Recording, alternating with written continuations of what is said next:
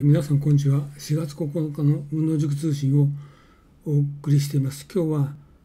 あのアフリカの製造業の話ですね。アフリカに製造業を振興するための正しいやり方ということで可能性は以前考えた時よりも良くなっているという内容です。早速中身を説明していきます。これはですねえっと3月20日のエコノミストの記事です。その前にですねあの premature de-industri industriali industrialization premature de-industrialization で早すぎる工業脱工業化という言葉が出てきます。であのこれは経済発展のプロセスにおいて製造業の雇用あるいは産出高に占める比率が継続して減少することを脱工業化というふうに言っていますね。それで中身入ってきますね。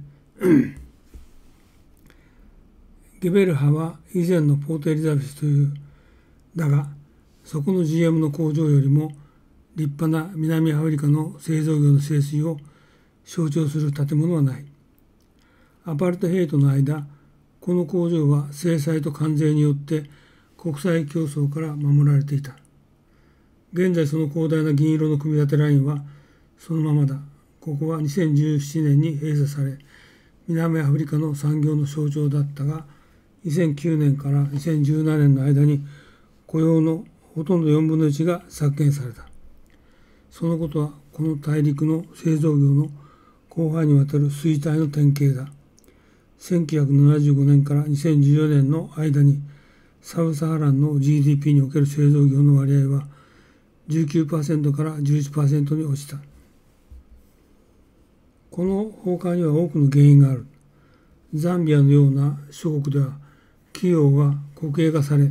官僚によって管理がおろそかにされた。ナイジェリアのような資源が豊かな諸国では、石油などの資源の輸出によって現地通貨が過大評価され、商品を作るよりも輸入した方が安くなった。大陸の多くの国は1990年代に輸入を開始したので、製造業者は大企業で極めて競争競合的な地方の企業に対してコストを削減するために悪戦苦闘した。まあ、要するに中国企業に接見されたということですね。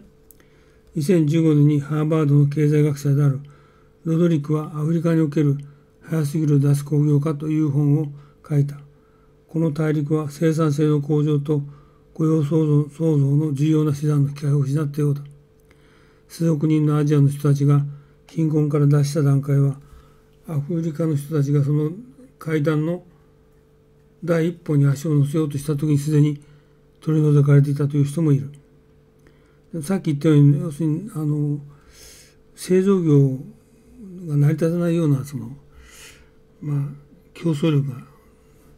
保てれなかったですね。一つはだから石油を出すから通貨を過大評価したり中国から安い商品が入ってきた。その前はあのですねそれ以前はあのアメリカがですねあの 綿花を安くアフリカに輸出してあのアフリカの綿花産業がなくなっちゃったというような こととかですね。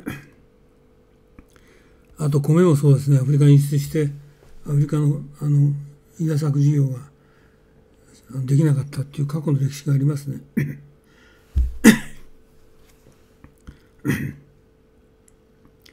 2035年までには世界の合計よりも多い数の若い労働人口がアフリカに加わってくるので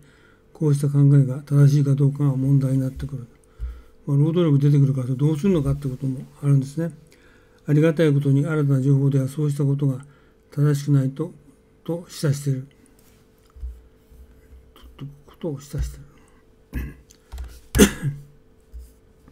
サブサハランの製造業の不況は2000年代において底打ちしている。2010年からはアフリカの工場で働く労働者の数は着実に伸びている。だから工場の生産高も増えている。脱競合脱協業化の心配系、だす、強、だす、紅葉がですよ、これね。